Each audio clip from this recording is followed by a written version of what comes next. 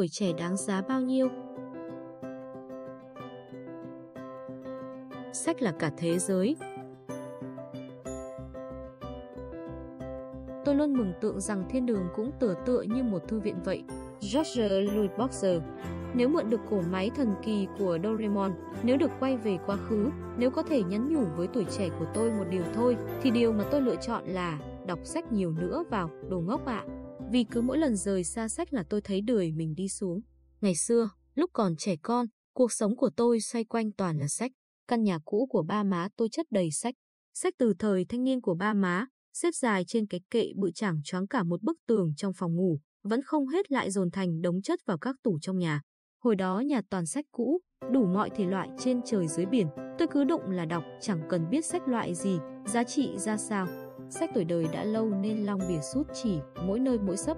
Mỗi lần đọc chị em tôi phải tìm tờ ghép trang lại với nhau rất cực khổ. Đôi khi thiếu giấy nhóm bếp tôi và đứa em lại lên tủ sách lấy đại vài tờ.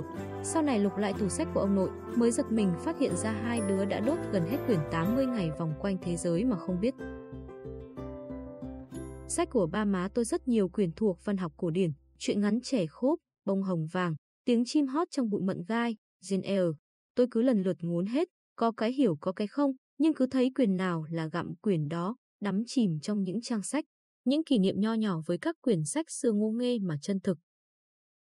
Nhớ một buổi trưa, tôi cố sống cố chết cày cho hết quyển truyện ngắn Solo Khốp, đến chiều hai mắt sưng vù lên gật gà gật gù, nên bị má lôi ra mắng cho một trận vì bỏ ngủ trưa.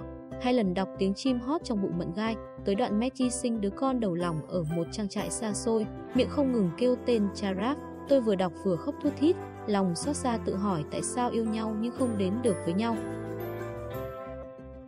Hồi đó má tôi làm giáo viên ở trường cấp 2 của xã.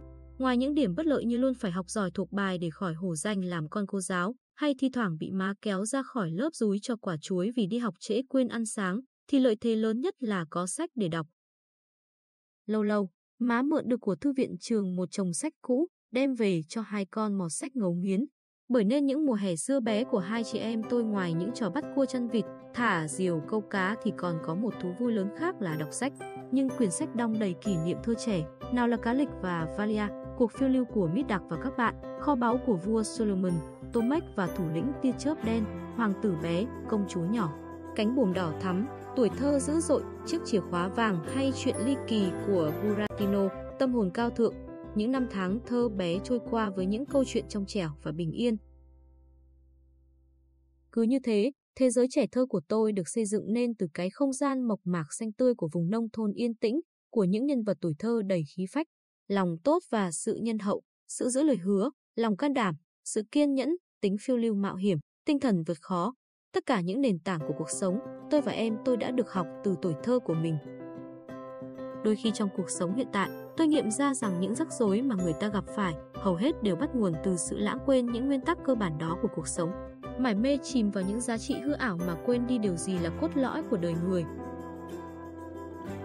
Sách tôi đọc chỉ là đống sách của ba má và những quyển má mượn thư viện, nên dĩ nhiên là không đủ. Lâu lâu thiếu sách cứ phải đọc đi đọc lại như bỏ nhai lại cỏ. Sách mới thì đắt, nên thường nhà tôi chỉ dám mua quyển nào thật cần thiết.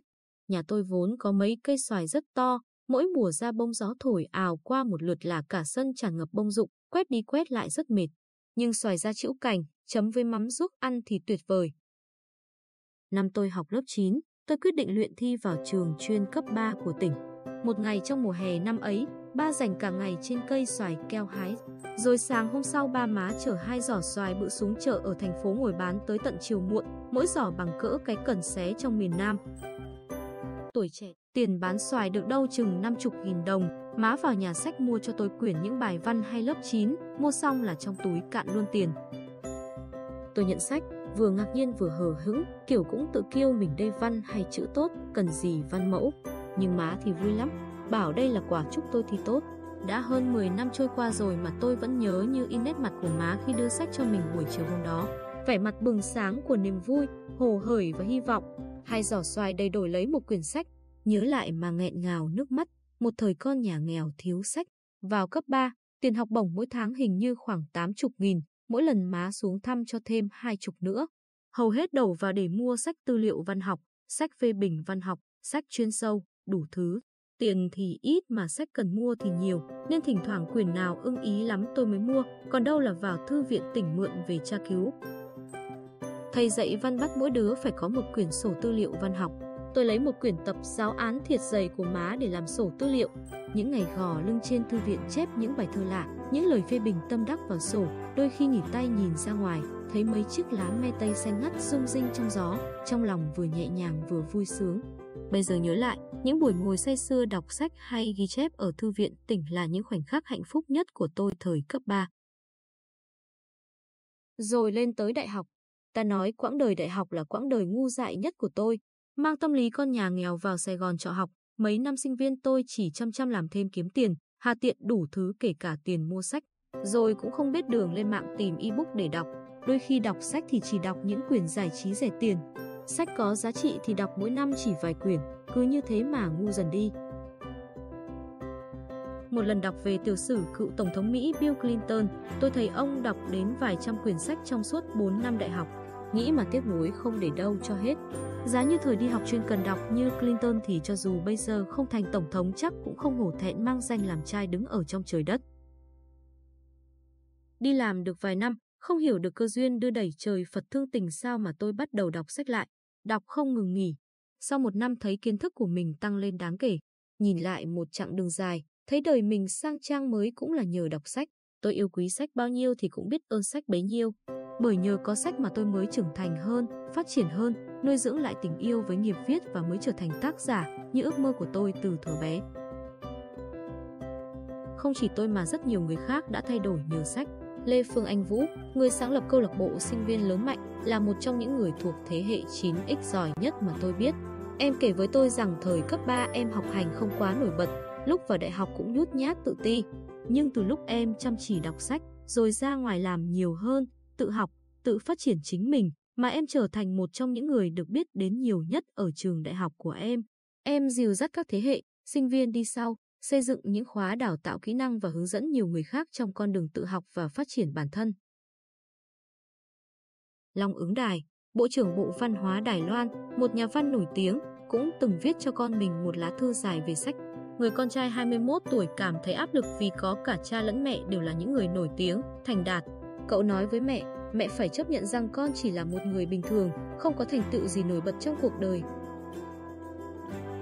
Long ứng đài trả lời, điều quan trọng nhất đối với mẹ không phải là con có thành tựu hay không, mà là con có hạnh phúc hay không trong cuộc sống hiện đại bây giờ loại công việc nào có thể ít nhiều đem lại cho con niềm hạnh phúc.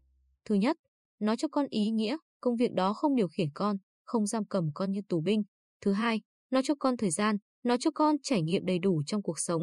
Ví dụ làm quản lý ngân hàng ở phố Wall, nhưng mỗi ngày vì tiền mà căng thẳng, có thể lại không bằng làm nghề nhân viên coi sóc vườn thú, hàng ngày tắm rửa cho voi hay đánh răng cho hà mã.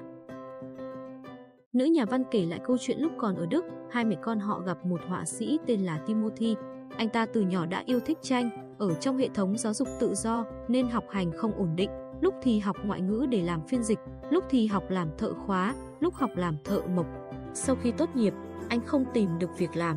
Đến năm 41 tuổi anh ấy vẫn thất nghiệp như thế và vẫn ở cùng mẹ mình.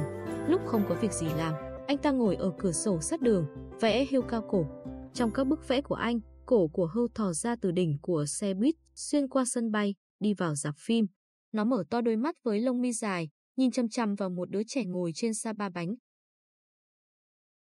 Long ứng đại bảo, bà sợ con thành người vẽ hươu cao cổ như Timothy, không phải vì anh ta không có tiền hay không có danh, mà là vì anh ta không tìm được ý nghĩa cuộc sống. Cuối thư, bà viết, mẹ yêu cầu con chăm chỉ đọc sách, không phải vì mẹ muốn con có thành tựu hơn người khác, mà là bởi vì mẹ muốn con có nhiều hơn nữa quyền lựa chọn cho tương lai, lựa chọn có ý nghĩa, có thời gian làm việc, chứ không phải là bị ép mưu sinh. Quả thật, cái mà con người ta cần nhất trong đời là quyền lựa chọn một cuộc sống được làm những điều có ý nghĩa, và sách là một công cụ giúp ta đạt được điều đó. Sách cho ta kiến thức, cho ta động lực, cho ta mơ về những nơi xa hơn. Sách giúp mở ra một thế giới tốt đẹp hơn, những con người tốt hơn và cả một phiên bản tốt hơn của chính ta. Nói không hoa, sách là cả thế giới. Người trẻ ở thành phố thì quá nhiều sách để đọc, còn mỗi lần về nông thôn thì thấy tụi nhỏ suốt cả mùa hè la cả chơi bời lêu lồng, thiếu sách trầm trọng. Những người trẻ được nuôi dưỡng đầy đủ, được cho ăn học đàng hoàng như chúng ta, hãy luôn nuôi dưỡng cho mình kỹ năng đọc sách và đừng quên gieo trồng thói quen đọc ở những đứa trẻ quanh mình, em mình, con mình, cháu mình.